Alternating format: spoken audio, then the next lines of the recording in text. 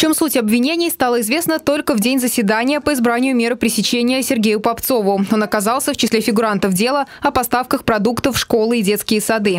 В январе этого года правоохранители сообщали, что под видом сливочного масла на столы детям поставляли спред с бактериями группы кишечной палочки. После чего были задержаны руководители компаний-поставщиков небезопасной молочки. Путем обмана заведующих относительно поставляемых продуктов происходило хищение муниципальных бюджетных средств, выделенных детсадам, сообщили в региональном следкоме. Напомним, что в октябре прошлого года следователи приходили с проверками в КШП «Подросток» и обслуживаемые комбинатом сады и школы. Тогда Сергей Попцов комментировал ситуацию нашим журналистам. Он называл ситуацию штатной и говорил об уверенности в качестве продуктов от подростка. Вопрос по э, продукции, по, по продукции, которая э, значит, э, ну, считается у них вроде как не кондицией, это по маслу.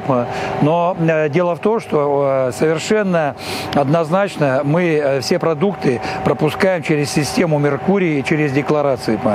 Вся молочная продукция, мясная продукция проходит через вот эту систему. Поэтому у нас сегодня нет, конечно, вопросов к органам следственного управления. Они выполняют свою работу в рамках федерального законодательства. Мы им активно помогаем в этом деле. По продукции, по комбинатовской вопросов нет совершенно никаких.